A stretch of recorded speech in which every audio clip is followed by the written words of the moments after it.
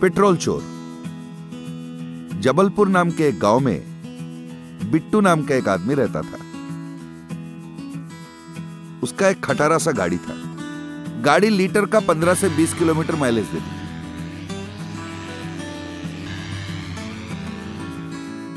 उस गाँव में महेश नाम का एक मैकेनिक भी था।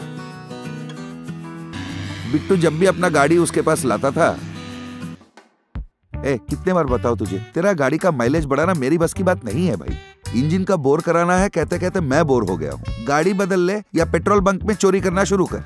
अरे ऐसा काहे बोला तो? जरा देखो ना। चलो ठीक है इस बार के लिए कुछ कर देता हूँ। उस गाँव में पेट्रोल बंक नहीं था तो बिट्टू पेट्रोल भराने पास के गाँव जा रहा था।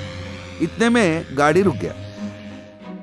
बाप रे, पेट्रोल बंक तो अब भी दस किलोमीटर है। कहकर गाड़ी को लात मारते हुए कहा, अरे भीख मांग के पेट्रोल भराए तेरे में। पूरा पी गया, बंक तक भी नहीं पहुँचा। कहकर उसने गाड़ी को डांट दिया। वो गाड़ी को धकेलते हुए ले जा रहा था। एक ढाबे के पास उसे दूसरा बाइक दिखा तो उसे एक तरकीब सूझा। एक पाइप लेकर वो उस बाइक के पास पहुँचा और आसपास देख लिया। उसे कोई दिखा नहीं। उसने टैंक का कवर खोल दिया और पाइप उसमें डाल दिया। मुँह से पेट्रोल खींचा और पेट्रोल को बोतल में भर लिया। फिर पेट्रोल लाकर अपने बाइक में भर दिया। अरे, ये तो बढ़िया आइडिया है। उसने सोचा, फिर हाथ में पाइप लेकर वो हर रोज गाँव के अलग अलग बाइक से पेट्रोल चुराने लगा। और चोरी के पेट्रोल से अपने बाइक पर शान से घूमता एक दिन उसे एक और तरकीब सूझा। उस दिन रात को वो एक कैन अपने साथ लिया और गाँव में निकल पड़ा। एक कार का पेट्रोल टैंक का ढक्कन उसने खोल लिया और पाइप उस पर डालकर पेट्रोल खींच लिया और पेट्रोल उसने कैन में भर लिया। दूसरे दिन सुबह एक बाइक के टैंक में उसने पाइप डाला और पूरा पेट्रोल अपने कैन में भर लिया। फिर पेट्रोल को बोतलों में भरकर रास्ते पर उन्हें बेचने बैठा। पेट्रोल पेट्रोल, लीटर सौ रुपए का पेट्रोल, वो चिल्लाने लगा। इसने जिस बाइक से पेट्रोल चुराया था, वो बेचारा बाइक ठेलते हुए वहाँ आया अरे, कल ही टैंक फुल करवाया था। पता नहीं आज पेट्रोल कैसे खत्म हो गया। अरे, गर्मी है, नशा है उड़ जावत है। हाँ तो एक लीटर डाल दो। अब बाजू के गाँव जाकर फिर से भरवाना पड़ी फुल टैंक। इसके बाद हर रोज बाइक से और कार से पेट्रोल चुराना बिट्टू का आदत बन गया। एक लीटर सौ रुपए में बेचता तो उसका बहुत बढ़िया कमाई हो रहा था। पर गाँव वालों को बहुत ज़्यादा परेशानी हो रहा था। एक बेचारा अपने बीवी बच्चे को साथ लेकर सिनेमा देखने जा रहा था बीच रास्ते गाड़ी रुक गया।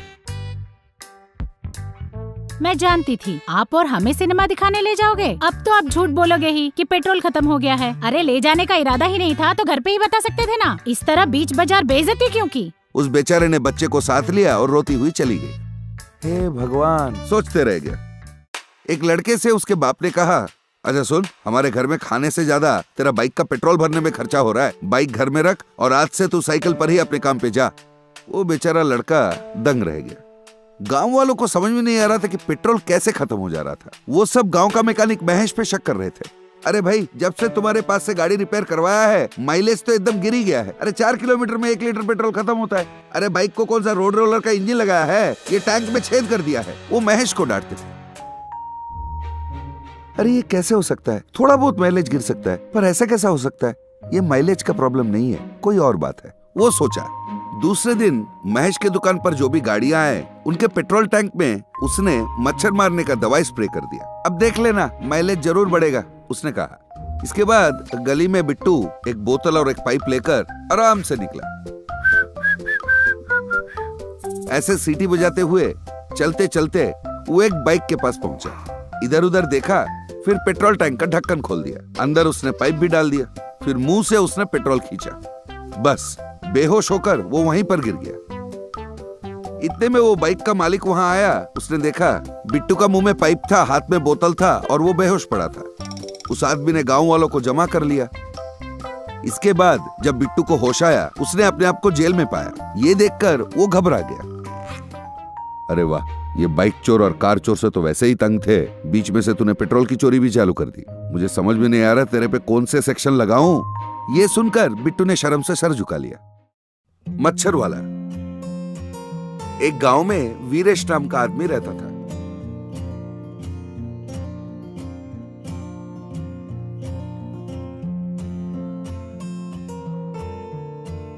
उसका पिता नाथुराम म्यूनिसिपालिटी में नौकरी करता था।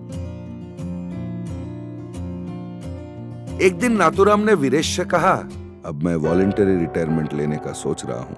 हमारे अफसर साहब ने कहा है कि वो तुझे कॉन्ट्रैक्ट की नौकरी ज़रूर दिला देंगे। ध्यान लगा के नौकरी करेगा तो परमानेंट भी हो जाएगा। आगे से तुम ये सारे बवंडलगिरी बंद करो और मन लगा के काम करो। वीरेश बोला, वैसे ये नौकरी है क्या? नाथुराम बोला, तुझे ऑटो में आसपास के गाँव घूमकर मच्छर मारने की दवाई मारना होगा। बस इतना ही। वीरेश बोला, बस इतना ही। अरे, उस धुएँ से मुझे एलर्जी है और कह रहे हो कि उसे ही मुझे गली गली घूमकर मारना पड़ेगा। मेरे से नहीं होगा। वैसे भी दोस्तों के सामने नाक कटेगा सो अलग। नाथुरम बोले, तेरे दोस्त क्या तुझे खाना खिलाते हैं ना पैसे देते हैं? जो मैं कह रहा हूँ चुपचाप कर, वरना कल से मैं तुझे एक रुपए भी नहीं दूँगा। उसने कहा। वीरेश का मन नहीं था, पर उसे नौकरी करना ही पड़ा। वो ट्रॉली ऑटो के पीछे स्प्रे मशीन को चढ़ाकर गली गली घूमकर धुआँ मारता था।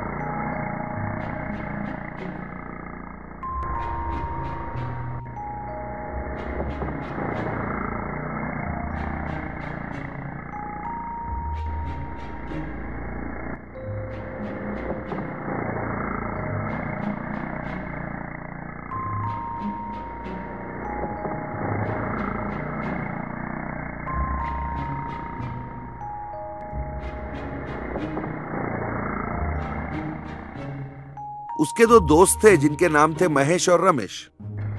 वीरेश को गली गली धुआँ मारते हुए देखकर वो बहुत हंसा करते थे। और सबके सामने वीरेश की खिल्ली उड़ाते थे। वो कहते थे, सुन, तेरा ऑटो लेके हमारे घर के पास से मत गुजरना। उस धुएँ की दुर्गंध हमसे सहा नहीं जाता। और घर वालों ने तुझे धुआँ मारते देख लिया ना? तो कहेंगे, इसके साथ तुम लोग दोस्ती क्यों कर रहे हो? हमारी इज़्ज़त जाएगी ना भाई? ये सुनकर वीरेश बहुत बेइज्जत महसूस करता था। और वो जो नौकरी कर रहा था उस पर गुस्सा निकालने के लिए जानबूझकर उस धुएँ को वो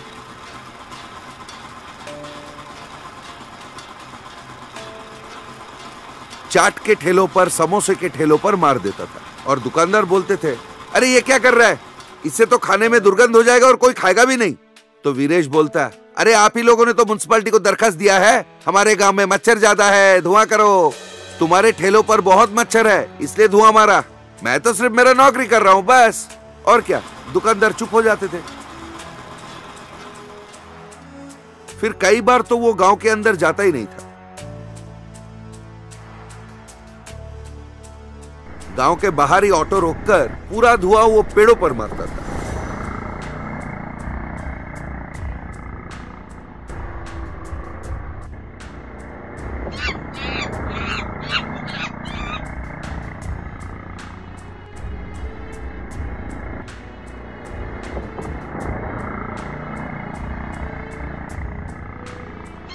जिसके वजह से पेड़ पर से सारे बंदर और पक्षियाँ भाग जाते थे।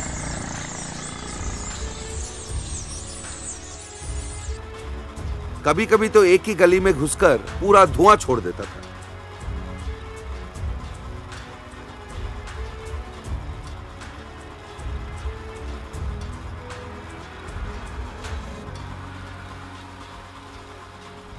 लोग अपने स्कूटरों पर से और साइकिलों पे से गिर जाते थे क्योंकि धुआँ उनकी आँखों में जाती थी और जलन होती थी।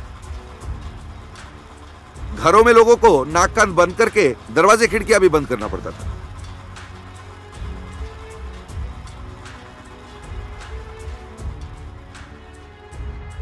रमेश और महेश के घर पास पास ही थे। एक दिन रमेश के दादा ने कहा, अरे रमेश, आजकल ये धुआँ मारने का गाड़ी आता नहीं है क्या? बहुत मच्छर बढ़ गया है घर में। रमेश बोला, अरे हाथ पंखा तो है, इस्तेमाल करो ना। वो दुर्गंध मुझसे सहा नहीं जाता। साथ के घर में रमेश अपने माँ से कहता था, अरे मच्छर के हमारे लिए नए हैं, बचपन से तो कटवाते आ रहे हैं, कुछ नहीं होता मच्छर काटने से। एक दिन रमेश और महेश दोनों को तेज बुखार हुआ तो अस्पताल में भर्ती होना पड़ा। डॉक्टर ने उनके परिवार वालों से कहा, रमेश को डेंगू हुआ है और महेश को चिकनगुनिया। आजकल दवाइयाँ बहुत महँगी हो गई है। अब तो महीना भर अस्पताल में रहना ही पड़ेगा। रमेश के दादाजी ने कहा बोला था ना बेटा घर में मच्छर बढ़ गए हैं। गाड़ी बुलाकर धुआँ मरवाने को कहा था तूने माना नहीं। महेश की माँ ने कहा कहते थे ना मच्छर काटने से कुछ नहीं होगा। अब देखा क्या हुआ? रमेश और महेश दोनों बेड पर लेटे हुए थे। वो एक दूसरे के चेहरे ताकते रह गए। एक महीने बाद रमेश और महेश मिलकर वीरेश के ऑटो के पास आए। रमेश ने कहा वीरेश हमें माफ़ कर देना। तू कितनी अहम नौकरी कर रहा है, आज हमें समझ में आया है। तू हमसे सौ गुना बेहतर है, तू लोगों का सेहत का रक्षा करता है। उसने कहा, महेश ने कहा हाँ वीरेश, तुझे अपने पापा का शुक्रगुजार होना चाहिए कि उसने तुम्हें यह नौकरी दिलाया। तू अगर नहीं होता ना तो हमारी ही तरह इस गाँव के पता नहीं कितने लोग बीमार हो पड़ते। हम सब तेरे बहुत आभारी है रे, और हमें बहुत गर्व होता है ये सोच के कि तू हमारा दोस्त है। उनके बातें सुनकर वीरेश दंग रह गया। उसको तब समझ में आया कि जो नौकरी वो कर रहा है, कितना अहम है।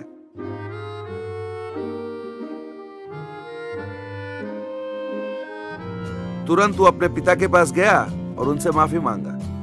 नाथुरम बहुत खुश हुआ।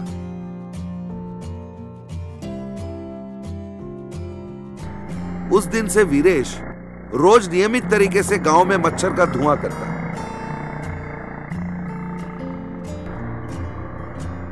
और सावधानी बरतता कि खाने की चीज़ों पर उस धुएँ की दवाई ना छिड़के। कुछ ही दिनों में उस गाँव में पूरी तरह से मच्छरों का खात्मा हो गया तो गाँव वालों ने वीरेश का सत्कार किया।